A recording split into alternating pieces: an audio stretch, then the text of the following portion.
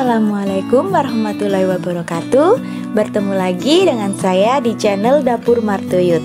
Hari ini saya lagi masak sambal goreng kentang dan ati ampela. Wow penasaran? Ikutin terus ya videonya sampai selesai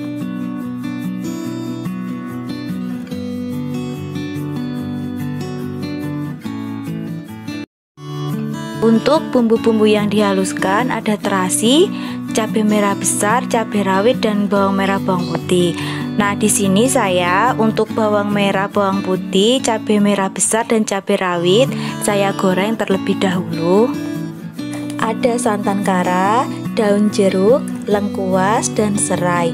Untuk serai dan lengkuas itu digeprek terlebih dahulu ya. Kemudian ada kaldu bubuk, gula pasir dan garam untuk kentang itu digoreng terlebih dahulu. Ampela atinya di sini saya rebus terlebih dahulu, kemudian saya saring dan saya ambil ampela atinya saja lalu saya goreng.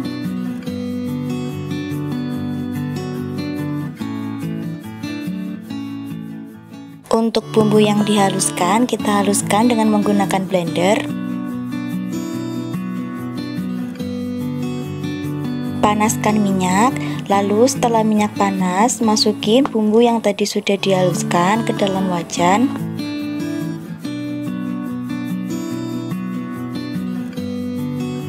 Tumis dan tunggu sampai baunya harum dan matang.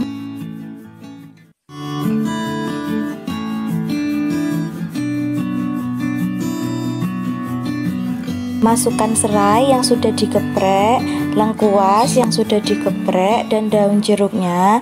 Kemudian tumis dan tunggu sampai bau serai, lengkuas dan daun jeruknya itu harum dan layu. Lalu masukin santannya, kemudian aduk dan ratakan. Tambahkan air secukupnya. Masukkan ati ampelanya yang tadi sudah digoreng terlebih dahulu ke dalam wajan, kemudian ratakan agar tercampur bersama bumbunya.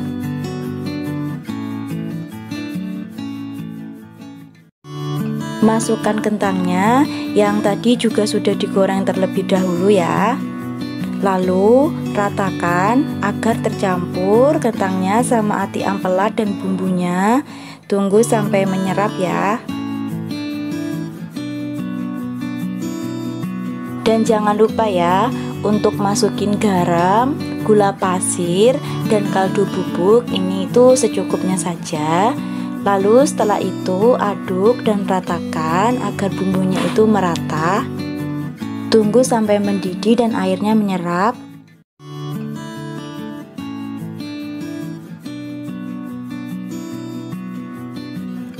Ini sedikit lagi sudah mau matang ya. Ini sudah mulai menyusut.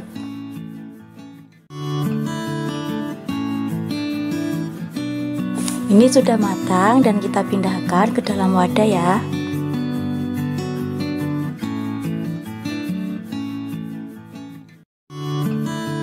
Sambal kentang dan ati ampelanya sudah matang. Selamat mencoba dan jangan lupa ikutin terus channel masak dapur Martuyut.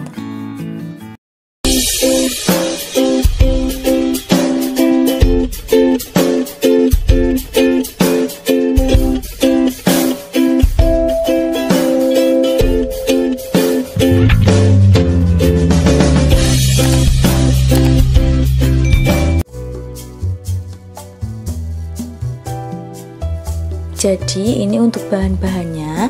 Di sini ada seledri yang sudah saya cincang halus, 5 siung bawang putih, satu butir telur.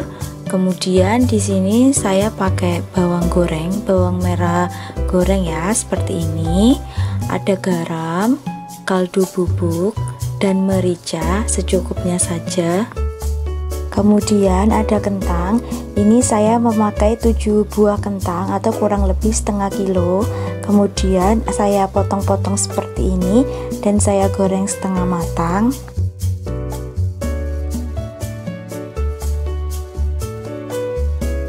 untuk proses pembuatannya, jadi pertama-tama kita masukin dulu bawang putih dan campurkan dengan garam.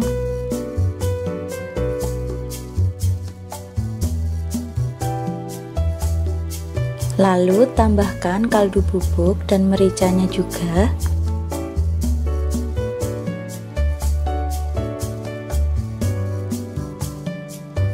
Lalu kita ulek bumbunya sampai benar-benar halus.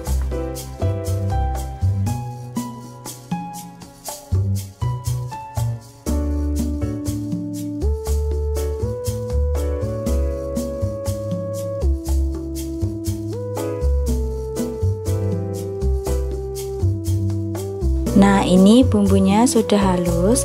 Setelah itu, kita masukkan kentangnya ke dalam cobek. Jadi, kentangnya kita masukkan secara bertahap, lalu kita ulek sampai halus dan tercampur sama bumbunya.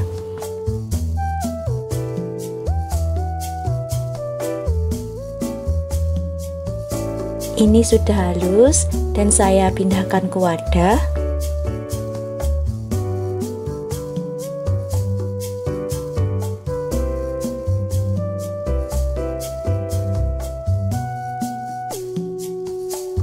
Kita masukkan lagi tadi sisa kentangnya dan kita haluskan ke dalam cobek.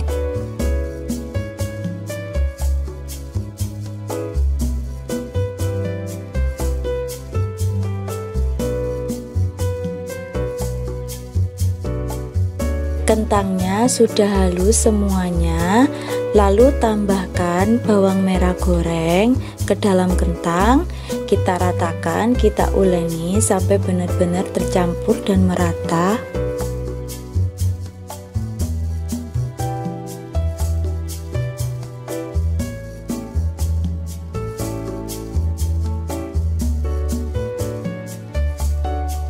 Masukkan seledri ke dalam kentang. Seledrinya ini sudah saya cincang terlebih dahulu. Ratakan sampai benar-benar tercampur merata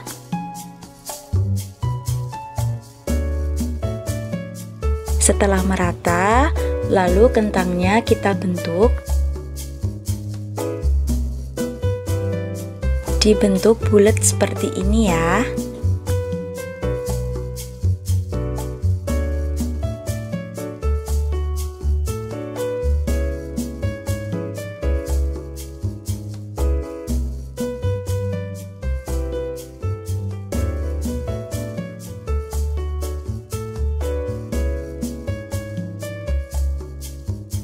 Ini kentang yang sudah saya bentuk bulat seperti ini, jadi 12 bulat kentang.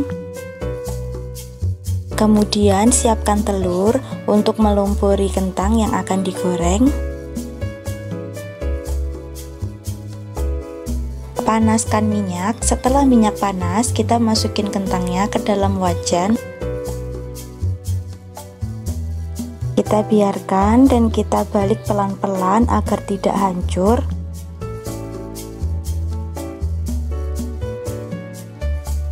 Setelah matang, kita angkat dan kita tiriskan. Perkedel kentangnya sudah matang dan sudah bisa dihidangkan. Buat teman-teman, jangan lupa dicoba ya, karena ini tuh enak dan simple banget. Jangan lupa ikutin terus channel Masak Dapur Martuyut.